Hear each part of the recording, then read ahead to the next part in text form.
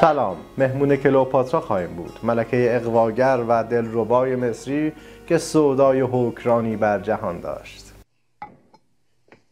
We must not disappoint the mighty Caesar. این فیلم مانکوویتز بیشک بزرگترین پروژه سینمایی درباره این شخصیت تاریخیه.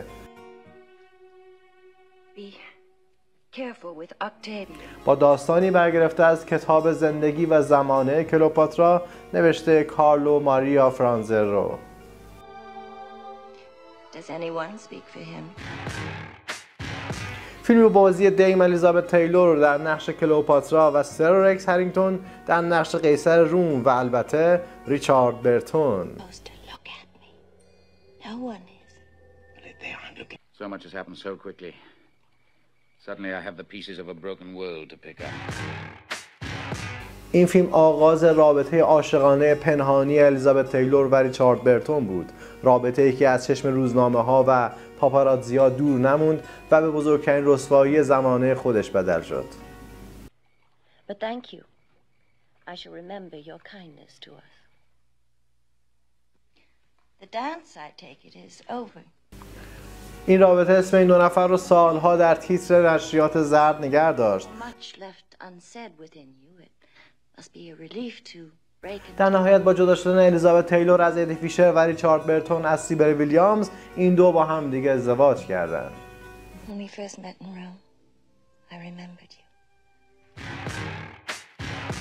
داستان از نبرد روم با پومپئی شروع میشه. جولیوس سزار البته با ناخشنودی از این پیروزی برای تعقیب ژنرال خائن پومپئی به سوی مصر حرکت می‌کنه. جایی که نزاع بر سر تاج و تخت بطلمیوس و کلئوپاترا رو مقابل هم قرار داده. اگرچه فرعون جوان مدعی خواهرش در بیابونها کشته شده در اولین شب اقامت سزار این زن جذاب با روشی نامتعارف نزد سزار میاد و سعی می‌کنه مجابش کنه تا به او در رسیدن به تاج و تخت کمک کنه. gotten off to a bad start, haven't we? I've done nothing but rub you the wrong way. بین این دو چالشی در میگیره که به سادگی حل نمیشه possible for me to sit, is it not? As quickly as possible, you must set me alone on the throne of Egypt. You're not a fool, or are you? Immodestly, perhaps? No. قیصر روم خودش رو در موقعیت بالاتری میبینه و کلئوپاترا هم مدعیه که جایگاهی الهی داره و به عنوان نمادی از آیزس خدای مصریان قصد کرنش کردن نداره Choose to regard you as such. Where you want? Yes, I want that understood. جدال این دو البته متأثر از اقواگری و میل به سلطه کلئوپاتراست Audience او سعی می‌کنه در عین استفاده از دلربایی خودش رو به یک عروسک در دست سزار هم تبدیل نکنه و به جولیوس نشون میده که اگر بخواد او رو واقعا داشته باشه باید دلش رو به دست بیاره.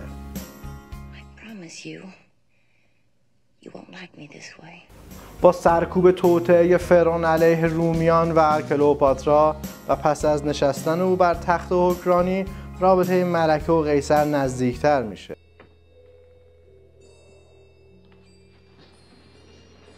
او مدام تو گوش قیصر رویایی رو زمزمه می‌کنه که میل فرمان روای رومی به حکرانی نه در مقام قیصر که در مقام یک پادشاه تقویت شه. اونها هم بستر میشن و کلوپاترا در حالی که قیصر قصد بازگشت به روم داره بهش خبر میده که از او بارداره و طبق پیشگویی از او پسری به دنیا خواهد آورد که می‌تونه وارث حکرانیش باشه. هدیه غیر منتظره چیزی که دوازده سال ازدواج قیصر با همسر چهارمش براش به ارمغان نیورده بوده? پس از به دنیا آمدن سزاریون قیصر بالاخره به روم برمیگرده و به عنوان فرمان روای کل انتخاب میشه. سه سال پس از خروج قیصر از مصر این بار نوبت کلوپاترا است که برای دیدار با او راهی روم بشه. ورودی شکوهمند و افسانه‌ای که باعث میشه کلوپاترا از مردم روم هم دلبری کنه?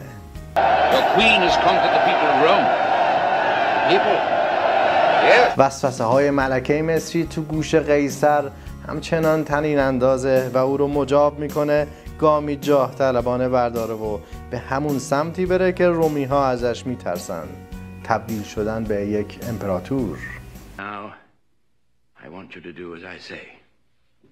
You will appoint me Emperor of Rome.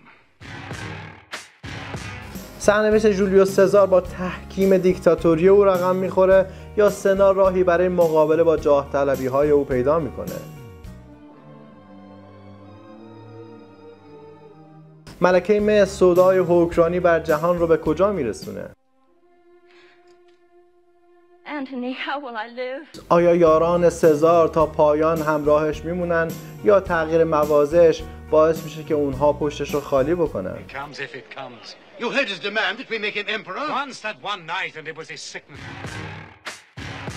این یکی از 28 فیلم تاریخ سینماست که توش ردی از کلوپاترا دیده میشه.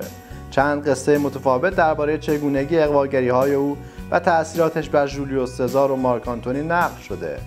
اما بیشک این قصه و این فیلم به یاد موندنی ترین پرداخت و بزرگترین پروژه سینمایی درباره این داستان مهم تاریخی قلمداد میشه. کلوپاترا 21 سال بر مصر حکمرانی کرد و آخرین پادشاه از سلسله فراعنه محسوب میشه و از همین منظر داستان او همیشه جذاب و شنیدنی بوده.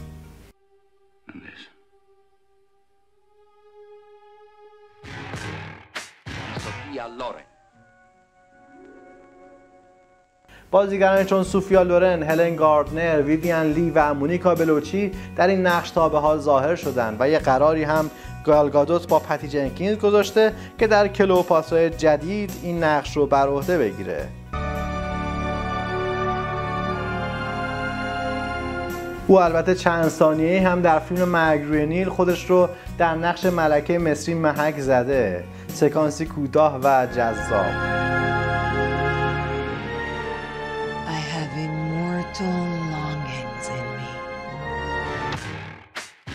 پروژه ساخت کلوپاترای مانکیویتس به اندازه متن حاشیه داشت.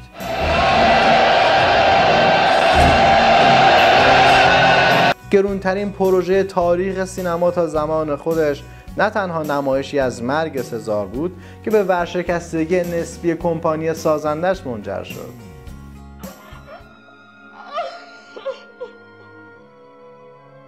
هزینه بالای سه سال تولید این فیلم حتی با فروش خیره کنندش در گیشه هم جبران نمی‌شد. کما اینکه رسوای اخلاقی افشا شده از پشت صحنه فیلم هم کار در این پروژه را به شدت سخت کرده بود.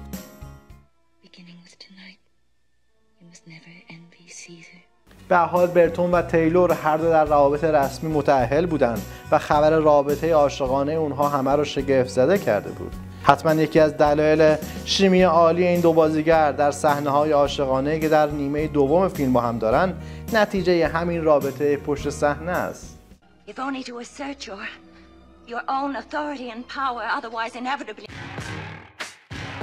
والتر وانگر مدتها تو فکر ساخت پروژه‌ای با موضوع کلوپاترا بود بنابراین تا کتاب فرانز رو رو پیدا کرد حق ساخت اثر را ازش خرید ابتدا کارگردانی اثر به رون مامولیان سپرده شد. اما بیماری تیلور پروژه رو متوقف کرد و فیلم برداری طولانی شد.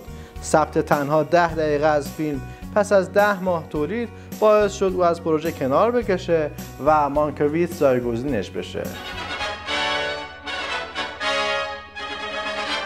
او قبلا در ناگهان تابستان گذشته با الیزابت تیلور کار کرده بود و قلقهای این بازیگر رو بهتر بلد بود.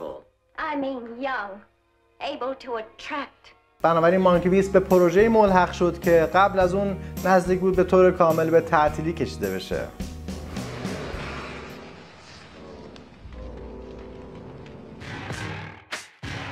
فیلم برای سلیقه امروزی طولانیه و ریتم کندی داره اما به هر حال پر از صحنه های جذابه که نماهایی از جلوه اقتدار روم و تاریخ پرشکوه مصر رو با هم داره البته لحن شوخ طبانه و در این حال مقتدرانه رکس هنینتون و جلوهگری الیزابت تیلور ممکنه در نیمه اول فیلم این نماها رو تحت تاثیر قرار داده باشه. Today I found myself remembering how much my daughter loved him. 120 مایل راش فیلم برداری شده. پس از تدوین اولیه یه فیلم 520 دقیقه شده بود که وقتی زانوکس مدیر کمپانی فیلم رو دید گفت باید از نو تدوین شه. زانوکس تصمیم گرفتش که تدوین رو کس دیگه ای انجام بده. مانکویس قهر کرد اما پس از یک کش و قوس قرار شد چند صحنه از نو فیلم برداری شه و تدوین نهایی هم با توافق دو طرف یعنی کمپانی و کارگردان به اکران در بیاد. البته همه این سختی ها پس از نمایش اولیه به فراموشی سپرده شد. فیلم نظر منتقدان رو به خوبی جلب کرده بود و ازش به عنوان شاخصترین تولید سینمایی سال یاد می‌شد. فیلمی که در دهه خودش در زمره پرفروشترین های اکران جهانی هم قرار داشت.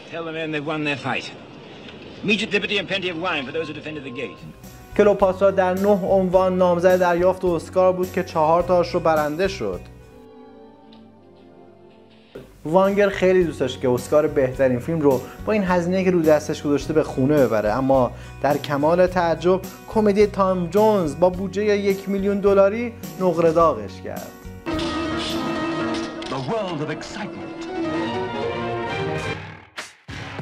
بریم با تماشای چند سکانس به یاد موندنی این ولاگ رو به پایان برسونیم.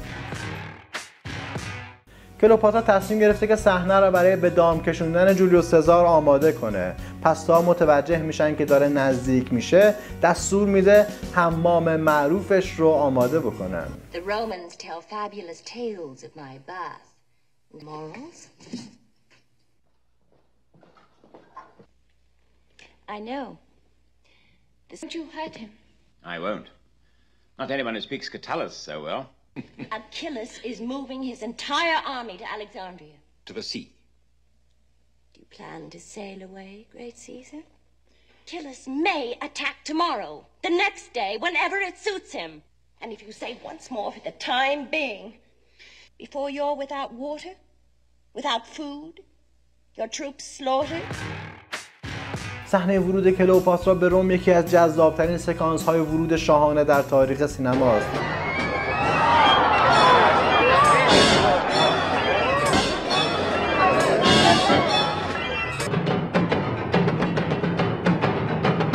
چیزی که مشابهش رو شاید بیشتر در افتتاحیه المپیک دیده باشیم.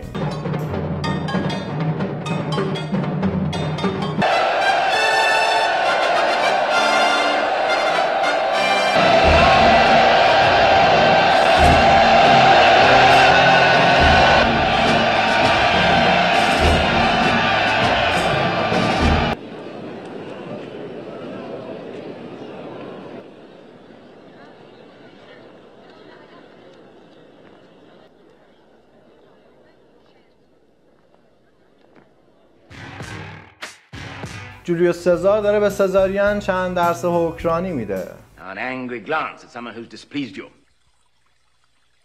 هنگام بخشیدن صدای بلند داشته باش اما جواب کسی که اعتمادت رو خدشه دار کرده مرگه I pardon you.